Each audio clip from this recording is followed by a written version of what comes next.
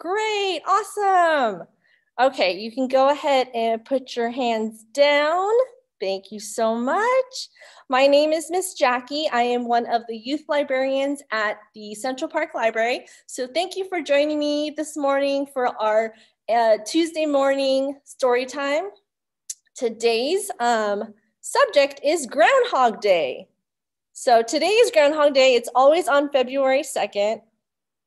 And the reason why Groundhog Day is important is because there's a um, a little legend or a little saying that goes if Punxsutawney Phil, which is a famous hedgehog, he will look like, I'm sorry, not a hedgehog, a groundhog, he'll look like this, right? If you see him, or if he comes up from his, um, waking up from his hibernation sleep and he sees his shadow, he's gonna go back down and go back to sleep and then winter's gonna be longer, right? So if he doesn't see his shadow, that means springtime is going to come sooner. So it's just a little saying for Groundhog's Day. Let's see here. Uh, before we get started, I just wanted to also share with you guys, if you want to find out more um, about our free virtual events, go ahead and make sure you follow us on Facebook or Instagram. And we post a lot of stuff on YouTube as well. So make sure that you follow us there. Okay, so we're going to get started with our welcome song, and it is called Bread and Butter. Let me, I hopefully you guys have the song sheet. Thank you. Miss Rachel has just posted the song sheet. So if you want to follow along, go ahead and click on that link and it'll bring it up with all the lyrics. Okay, so we're going to start with our welcome song. Are you ready? This one is called Bread and Butter, and we're going to clap to it as well. Okay, here we go bread and butter, marmalade and jam. Let's say hello as quiet as we can. So let's say hello quietly. Hello. Okay, good job. Bread and butter, marmalade and jam. Let's say hello as loud as we can. Hello! All right, let's try another one. Bread and butter, marmalade and jam. Let's say hello as slow as we can. Hello.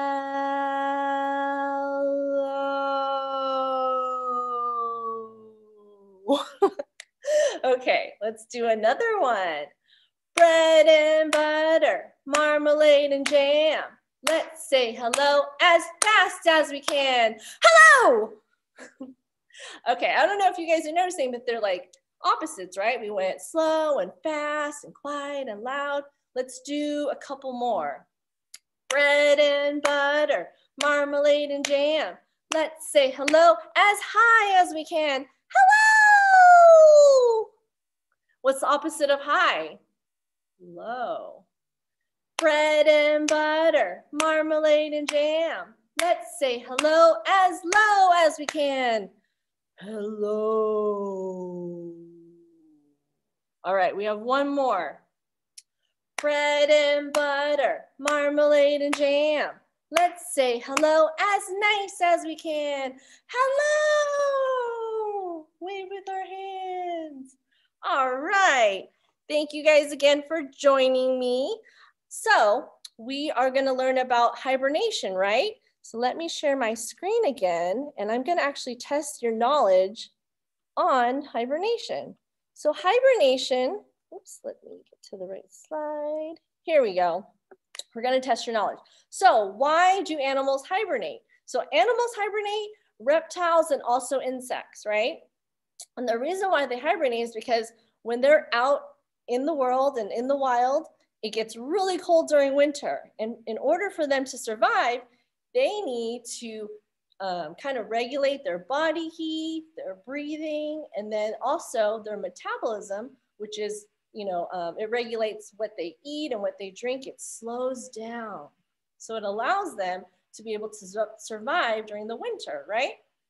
Okay, so if you look at your screen right now, we have a picture of about seven, seven creatures, right? So I want you to guess which animals do not hibernate on this picture. All right, go ahead and type it in the chat. Let me know what you guys think. Let's see if you guys get it right. And then what animals do we see on the screen? We see, we see a bear, and then next to it, we see a cat. There's a ladybug, a dog, a horse, a skunk, and a hedgehog. So what do you guys think? Okay, some of you are right. You say cats don't, horses don't, dogs don't. Pretty good. I'll give you another five seconds to type it in.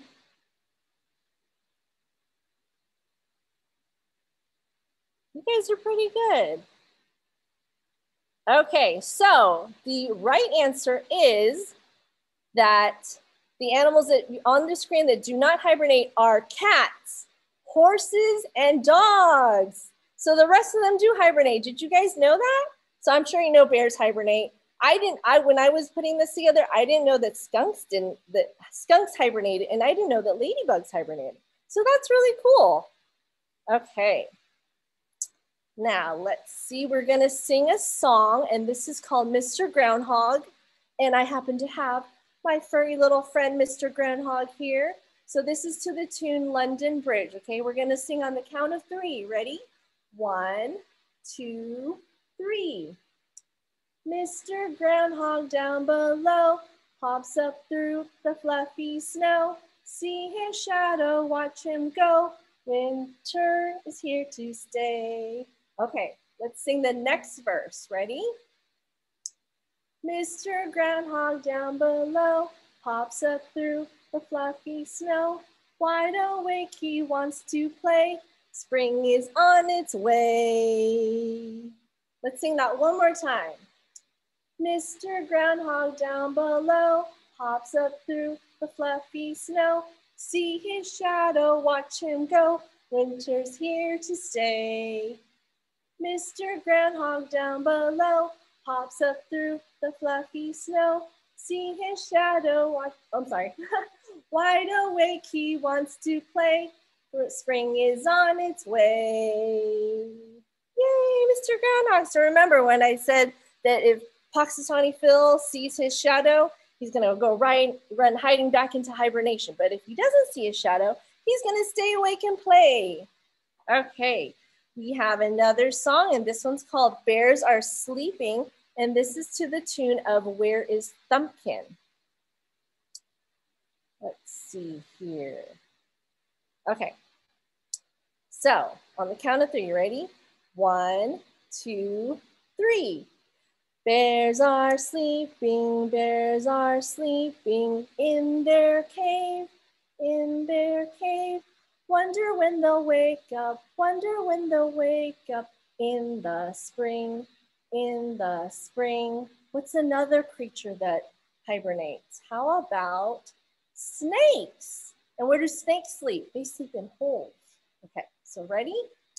Snakes are sleeping, snakes are sleeping in their holes, in their holes.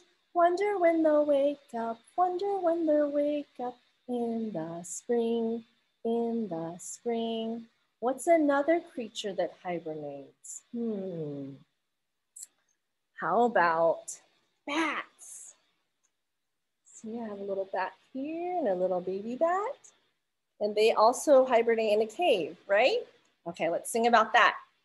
Bats are sleeping, bats are sleeping in their cave, in their cave. Wonder when they'll wake up, wonder when they'll wake up in the spring, in the spring. How about a hedgehog, right? Little hedgehog. He's also going to be hibernating. Hedgehogs are sleeping, hedgehogs are sleeping in their nest, in their nest.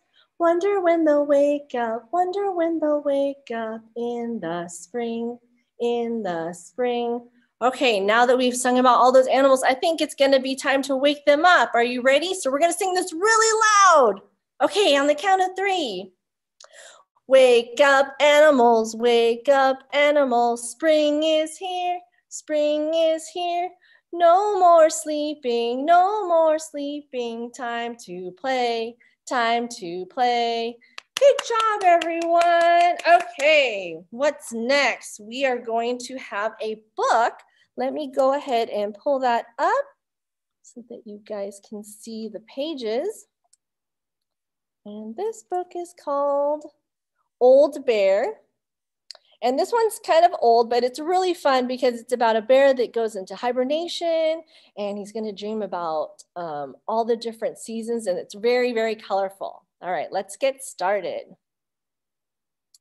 By the time Old Bear fell asleep for the winter, it was snowing hard. There he is in his cave, all cozy. Soon he was dreaming. He dreamt that spring had come and he was a cub again. The flowers were as big as trees. He took a nap in a giant pink crocus. Then he dreamed it was summer. The sun was a daisy and the leaves were butterflies. And we see lots of colors of like green and blue on this page. Part of the sky clouded over and it rained blueberries. Oh my goodness. Next, he dreamt of autumn. Everything was yellow and orange and brown, even the birds and the fish and the water. So we see lots of shades of orange and brown, just like when we see um, outside when it's fall, we see the trees turning colors. After that, he dreamed that winter was back. The world was covered in ice. It was night and the sky was blazing with stars of all colors. The cold went on forever. Brr. Old Bear slept and dreamed and dreamed and slept. When he finally woke up, it seemed to him that no time had passed since he had fallen asleep. He yawned, oh, and stretched. Ah. He poked his head out of his den to see if it was still snowing. He blinked and blinked again. He might not be able to believe what he sees, right? And when Old Bear walked out onto the beautiful spring day, it took him a minute to realize that he wasn't dreaming.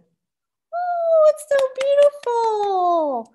All right, so that is the end of our book. We are going to do a flannel board rhyme now, which is called Five Little Snowflakes. So you see the, um, the lyrics on the screen now, but I'm going to close this up so that you can see my flannel board, which I'm gonna wheel out right here. Okay, I'm just gonna angle this down so everybody can see better. Okay, are you guys ready? Okay, so this is five little snowflakes, and this is gonna help us with our counting skills. Can everybody count to five already? Okay, here we go. One little snowflake with nothing to do. Here's our first snowflake. Isn't that pretty? And what color is this? If you can see it, it's a blue snowflake. So one little snowflake with nothing to do, along came another, and then there were two. So now we have one and two, and this one is pink three little snowflakes looking for some fun. Here's another snowflake. There it lands. And this one's orange. So now we have one, two, three. Four little snowflakes dancing a jive. Along came another. Here we go. And then there were five. So we have one, two, three, four. Oh, I'm sorry. Along came another, and then there were five. Here's number five. So we have one, two, three, four, and five. Five little snowflakes having so much fun. Then out came the sun. Here's the sun. He's so happy to be out. And then there were none. So what happens when this when the sun comes out? Do all the snowflakes melt? There they go. They melted away, but we still have a very happy sun who's glad to be with us today, right? All right. Good job Count, practicing your counting. Okay. Next thing we have is a rhyme called Hedgehog, Hedgehog. And this is also gonna, I want you guys to stand up at home because you're gonna do some movement with this, okay? So make sure you have room to stretch and move. And I'm gonna have my little friend Hedgehog here to sing along or to do our rhyme with us, okay? Are you ready? So on the count of three, one, two, three. Hedgehog, hedgehog, turn around. Hedgehog, hedgehog, touch the ground. Hedgehog, hedgehog, reach up high. A uh, hedgehog, hedgehog, touch the sky. So he's gonna try to touch my sky background. hedgehog, hedgehog, touch your toes. Can you touch his toes? He's touching his little toe. Hedgehog, hedgehog, uh, softly creep. He's creeping away. Hedgehog, hedgehog, go to sleep. Now he's gonna sleep in his little nest, right? For hibernation. Good job, guys. Okay, let's see. We have another book now. So let me go ahead and share my screen again. And we're gonna get to it. This one's called William's Winter Nap. So here we go. William's Winter Nap. So this is by Linda Ashman and pictures are by Chuck Groenink. Here we go. In a house on a hill that's tall and steep, there's a boy named William who's ready to sleep. He drinks his cocoa, climbs in bed. He fluffs the pillow beneath his head, then burrows down for a nice long nap but wakes to find the sound of a tap, tap, tap. Hmm, what could that be? Excuse me, but I've lost my way. I'm cold and tired. May I please stay? Will says, Yes, I'll scooch a bit. There's room for two. I'm sure we'll fit. And what, what animal do you guys think that is? That is a chipmunk. And chipmunks also hibernate. The two climbed in and curl up tight. They yawn and say, Good night, good night. It's quiet, just the clock's tick tock. But wait, what's that? A knock, knock, knock? Who else could be at the door? Oh, what a lovely cozy place. Could you spare a smidge of space? Will says, Yes, we'll scooch a bit. There's room for three. I'm sure we'll fit. And what animal is that now? It looks like a porcupine. The three climb in and curl up tight. They yawn and say, Good night, good night. It's peaceful in the sleepy room until that is the boom, boom, boom. What could that be now? My toes are numb, my tail is too. Mind if I come in with you? Will says, Yes, we'll scooch a bit. There's room for four. I'm sure we'll fit. The four climb in and curl up tight. They yawn and say, Good night, good night. And who was at the door that time? It looks like a hedgehog. I'm sorry, not a hedgehog, a groundhog. I keep getting those confused. Ping, ping, ping. Could that be rain? No. Pebbles on the window pane? May I come in? I need some rest. I promise I'm a perfect guest. Will says, Yes, we'll scooch a bit. There's room for five. I'm sure we'll fit. The five climb in and curl up tight. They yawn and say, Good night, good night. And what was that? Looks like maybe a raccoon. The sound of snoring, soft and slow, then crunch, some footsteps in the snow. A note is slipped beneath the door. Do you have room for just one more? All right, who could be at the door this time? I'd rather not. Too squished. No space. There's got to be some other place. We don't have room. Hard to fit. No way, we can't consider it. Will says, if it's someone small, it might not be hard at all. He tugs the door to see who's there. Uh-oh, oh my, what now? What do we think it is? A bear! I saw your light on through the trees. I'm lonely. May I join you, please? Bear shivers in the falling snow. I see no room. That's fine. I'll go. Oh, he's so sad now. It's awfully cold. The snow, the ice. He'd keep us warm. He'd seem quite nice. They all say, wait, we'll scooch a bit. There's room for six. Somehow we'll fit. The six climb in and curl up tight.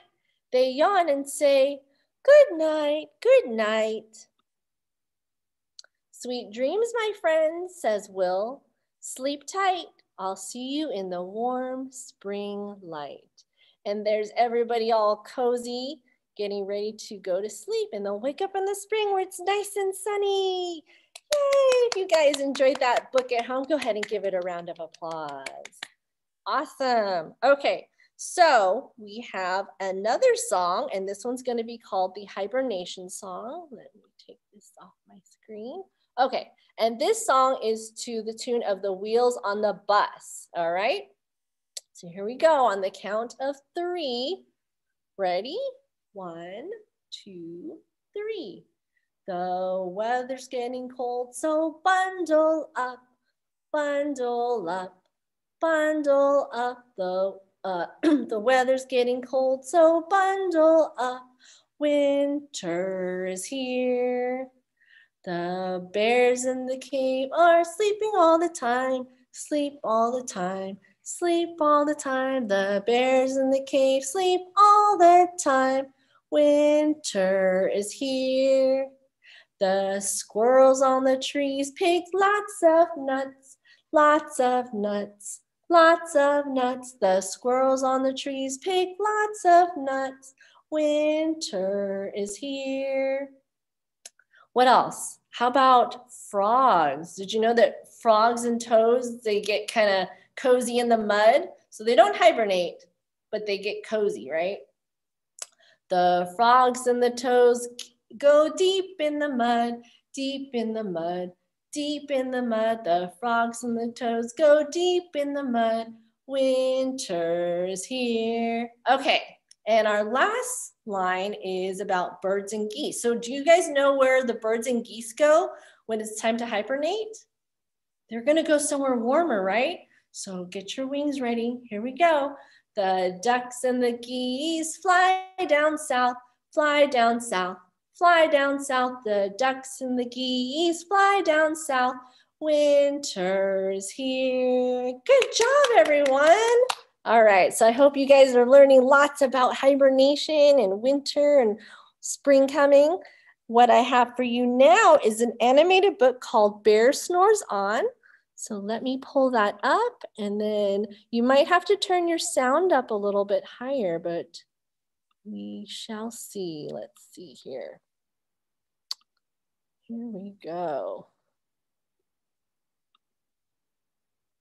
Okay. Can everybody hear that?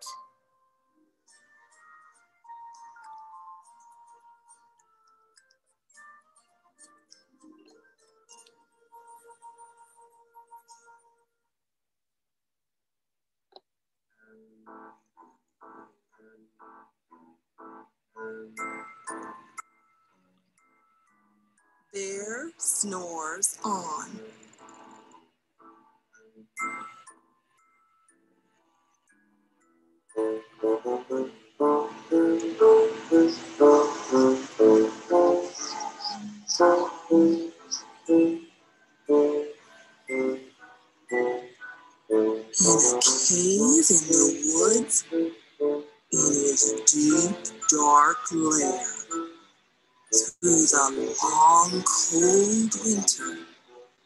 Sleeps a great brown bear. Cuddled in a heap with his eyes shut tight. He sleeps through the day, he sleeps through the night. The cold winds howl, and the night sounds growl. But the bear snores An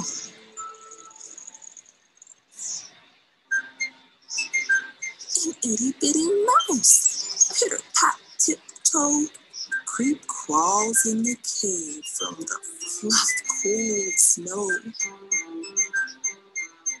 Mouse squeaks, too damp, too dank, too dark. So he lights wee twigs with a small hot spark. The coals pip pop, and the wind doesn't stop. But the bear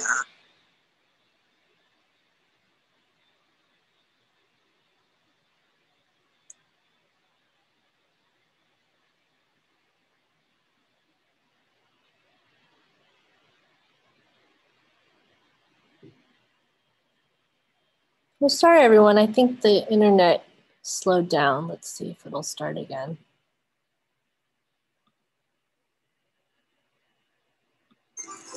but the bear Hmm.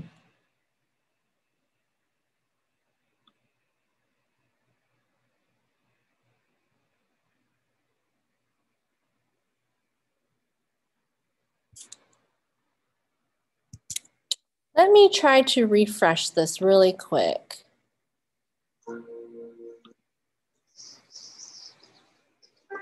Two glowing eyes sneak peek in the den. Mouse cries, Who's there? And a hare hops in. Oh, Mouse, says Hare, long time no see. So they pop white corn and they brew black tea. Mouse sips wee slurps. Hare burps big burps. But the bear snores on. A badger scuttles by. Sniff snuffs at the air. I smell yummy yums. Perhaps we can share. I've brought honey nuts, Badger says with a grin. Let's divvy them up, cozy down, and dig in. And they nibble and they munch with a chomp, crunch. But the bear snores on. A gopher and a mole tunnel up through the floor. Then a wren and a raven flutter in through the door. Oh, mole mutters, what a night! A storm, twitters wren. And everybody clutters in the great bear's den. They tweet and they titter they chat and they chitter. But the bear snores on.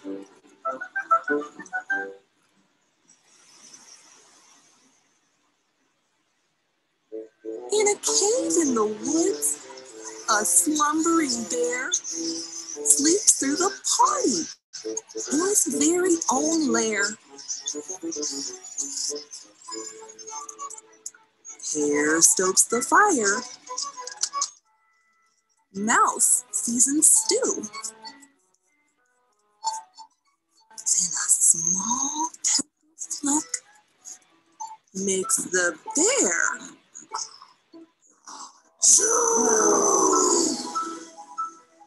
He blows and he sneezes, and the whole crowd freezes.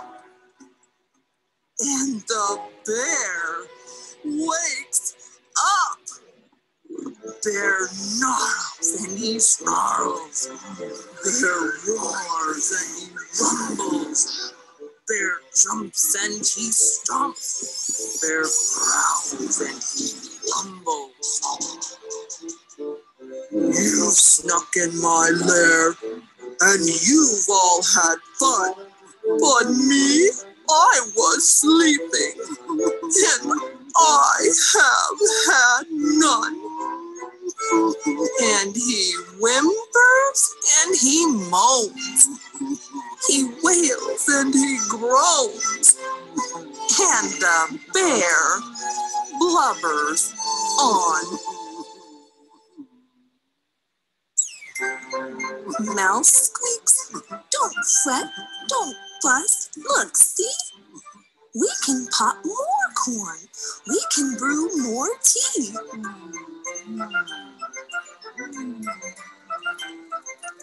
There goes. There gobbles. He sighs with delight.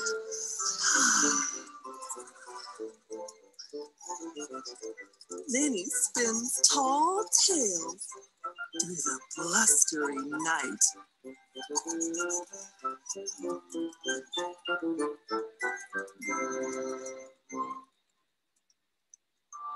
When the sun peeks up on a crisp, clear dawn, Bear can't sleep, but his friends snore on. All